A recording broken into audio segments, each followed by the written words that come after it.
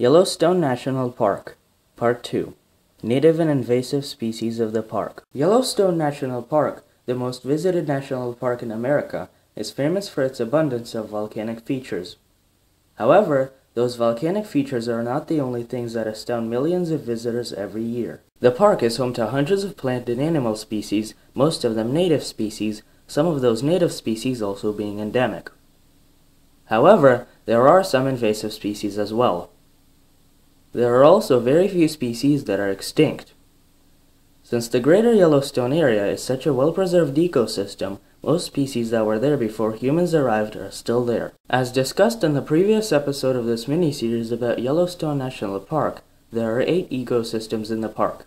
Those ecosystems are home to all of the park's living species, which number well over 2,000. The wet dense forest ecosystem is the ecosystem that is home to the most plants and animals of the park.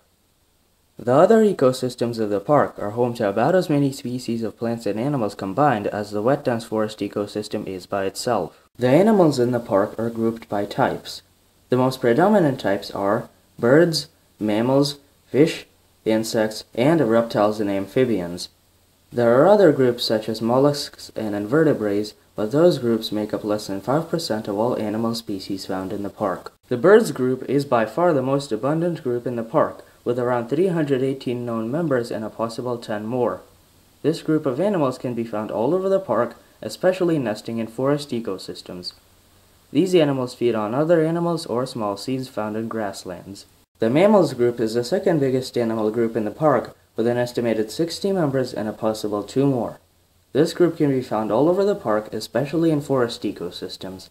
However, small mammals of Yellowstone like to settle in meadows or grasslands. These animals feed on a variety of both plants and animals. The fish group is the third biggest animal group in the park, with an estimated 13 members. This group can only be found in water ecosystems, but the water ecosystems can be found almost anywhere throughout the park. These animals feed on algae in the water and occasionally insects that stray into the water. The insects group and the reptile amphibian group are tied for the fourth most abundant animal groups in the park, with a combined 20 members, 10 in each group. These animals can be found all over the park, especially near sources of water, and feed on both kingdoms. One more very interesting ecosystem makes its mark in Yellowstone National Park, the geyser ecosystem. These ecosystems are centered around water runoff from geysers, hot springs, and mud pots. They are home to thermophiles, special bacteria that have adapted to living in extremely hot conditions, sometimes in water that is tens of degrees below boiling. The type of thermophile that lives in the bacterial mats in the water is determined by the temperature of the water that they live in and what they feed on. The hotter the water, the more colorful the bacteria.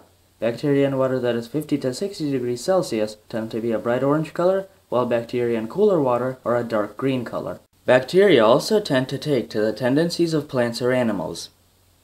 Two new differences arise in the bacteria of the ecosystem.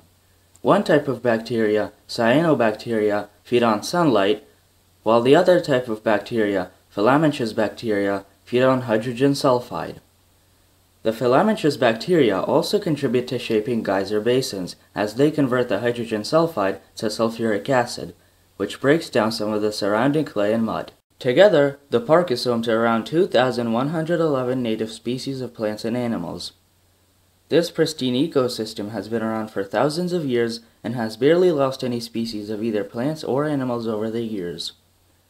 Some species in Yellowstone have had offspring that are not quite like their parents, and due to the moderate isolation created by the mountains surrounding the area, those species were unable to move to other places. Species that exist only in certain small areas of the world are called endemic to that particular area, and Yellowstone has several.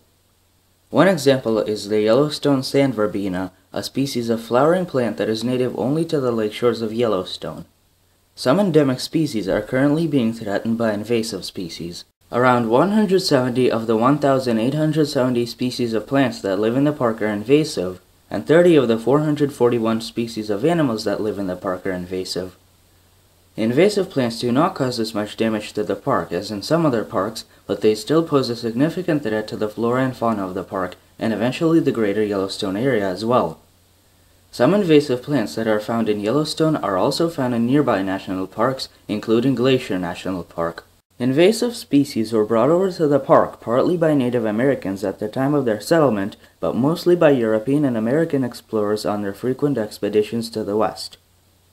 Nowadays, several programs are working to restore the park to its original balance of life, and most of these programs are successful. Thank you for watching this documentary, and as always, if you enjoyed it, like the video, favorite it, or share it with your friends. And if you want to see the third part of this mini-series, I recommend subscribing.